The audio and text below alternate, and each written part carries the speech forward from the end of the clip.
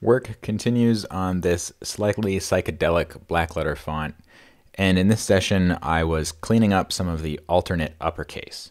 So the typeface defaults to a style of capitals called Lombardic, but I want there to be a stylistic set that has caps which are a lot more closely matching the construction and overall aesthetics of the black letter lowercase.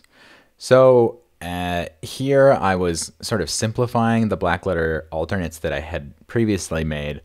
I was taking out a lot of these sort of vertical strokes that were added as embellishments and are pretty typical of black letter uppercase, but in this case, especially with condensed uh, capitals, really felt like they were breaking up text and kind of making it unnecessarily difficult to read and a little bit busy.